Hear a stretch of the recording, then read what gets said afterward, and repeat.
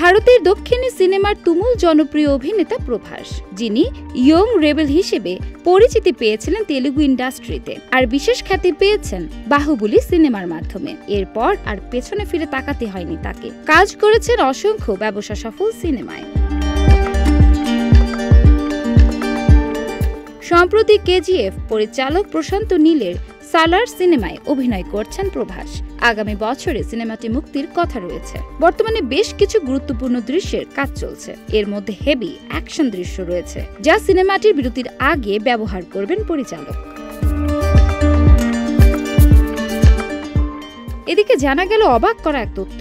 আর তা হলো, সালার সিনেমার একটি দৃশ্যের জন্য মোটা অঙ্কের অর্থ ব্যয় করছে নির্মাতা প্রশান্ত নীল, যা বিশেষ আকর্ষণ দিবে পুরো ছবিটিকে। ধারণা করা হচ্ছে, ভারতীয় সিনেমার ইতিহাসে এটি সেরা ইন্টারভ্যাল দৃশ্য হতে যাচ্ছে।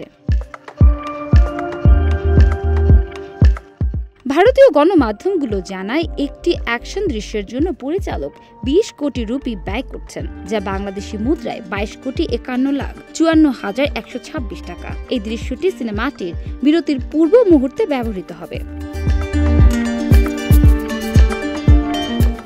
মূলত গত বছরের জানুয়ারিতে সালার সিনেমার মহরত অনুষ্ঠিত হয়। অ্যাকশন থ্রিলার ঘরানার সালার সিনেমায় প্রভাসের সঙ্গে জুটি বেঁধে অভিনয় করছেন শ্রুতি হাসান। এছাড়াও অভিনয় করছেন পৃথ্বীরাজ জগপথ বাবু ঈশ্বরী রাও প্রমুখ।